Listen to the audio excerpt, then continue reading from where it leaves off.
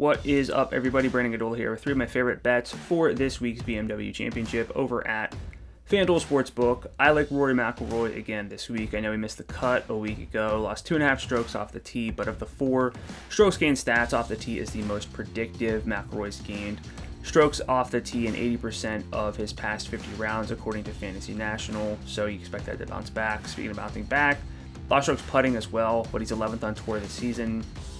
The putting numbers have been good for Rory on the year. Don't have a whole lot of information on Wilmington, um, but we do know from the scorecard that there are six or seven sort of abnormally long holes, including two par fives over 630 yards on the back nine.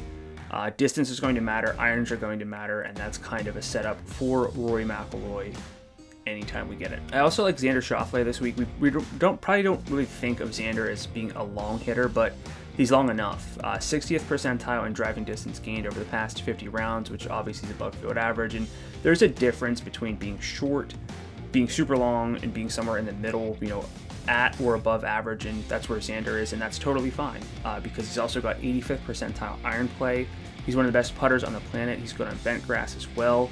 And he has three no cut wins in his career on the PGA Tour, plus a total score uh, tour championship win, if you if you want to count that. So uh, the high floor, the high ceiling from his good tee to green play and putting to that all around game is really what makes Xander stand out in no cut events. I also like Max Homa uh, this week. If you think of golfers who are long off the tee, have good irons, and have good putting, it's a pretty narrow list because those are all three really great traits to have. But Homa fits that. Uh, he's got 76th percentile driving distance uh, a nice 69th percentile score in long term iron play, 87th percentile in long term putting.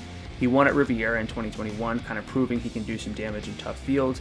And frankly, he's an upside player. He's one of seven golfers in this field to have an 80th percentile week or a spike week in tee to green play in at least 50% of his events over the past year and in 33% of his putting. So half the, the events tee to green, a third in putting. And the other six golfers who fit those they're all 27 to 1 or shorter. Uh, I like Homa as an outright, but also top 10 and top 20 as well for this week. That'll do it for my favorite bets for the BMW Championship. Best of luck this week. Let's hit a winner.